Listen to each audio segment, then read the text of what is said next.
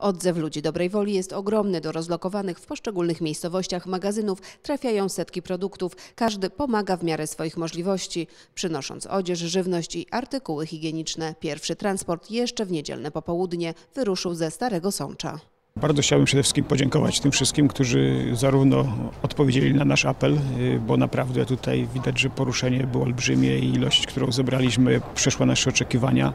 Także można, mogę powiedzieć, że nawet musieliśmy wzmacniać siły, tak żeby można to było wczoraj odebrać i, i zdeponować, zdeponować y, bezpiecznie. Ale jak bardzo potrzebna była ta zbiórka, świadczą nawet dzisiejsze telefony. Przed chwilą otrzymałem informację, telefon od y, pana burmistrza Muszyny, pana Tokarczyka, że dzisiaj przyjeżdża y, grupa 400 osób, uchodźców. Już dzisiaj są potrzebne pewne środki, środki sanitarne.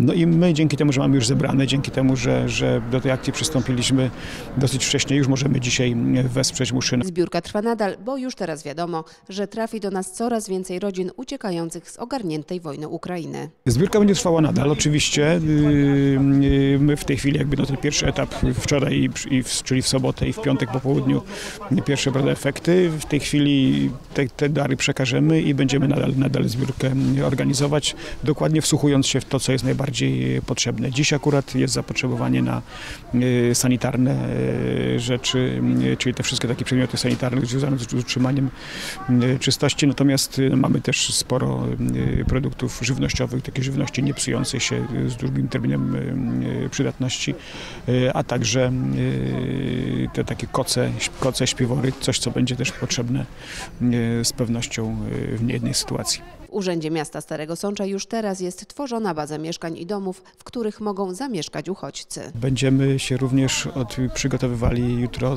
rozpoczniemy taką też zbieranie gotowości mieszkańców do ewentualnego przyjęcia, y, jeżeli takie potrzeby zaistnieją uchodźców, y, bo oczywiście dzisiaj w pierwszym rzędzie zadeklarowaliśmy i- i porozumieniu z właścicielami y, ośrodków czy gospodarstw agroturystycznych y, gotowość do przyjęcia, natomiast y, no, obawiam się, że będzie również potrzeba y, szerszego wsparcia i jeżeli będzie ktoś chciał wyrazić gotowość y, przyjęcia jakiejś rodziny pod swój dach, w jakieś może wolne pokoje na jakiś, na jakiś czas, to tutaj również takie będziemy zbierali od jutra w Urzędzie Gminy, będziemy zbierali taką gotowość, żeby tworzyć, tworzyć też taką bazę, żeby tą pomoc koordynować. Nowy Sącz w poniedziałek także rozpoczął zbiórkę darów, które mają trafić do stryja partnerskiego miasta Nowego Sącza. Chcemy przekazać te rzeczy, które rzeczywiście są w tej chwili e, niezbędne w mieście.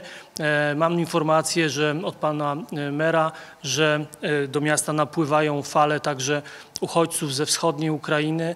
Także to też jest taka, takie wsparcie dla, dla całej Ukrainy tak naprawdę, bo, bo Stryj jeszcze jest w miarę bezpieczny, w miarę blisko tutaj naszej granicy i to powoduje, że jeszcze w tej chwili nie jest bezpośrednio zagrożony. Zbiórka prowadzona jest w budynku przy ulicy Nawojowskiej 17 oraz w hali sportowej przy ulicy na Rurach.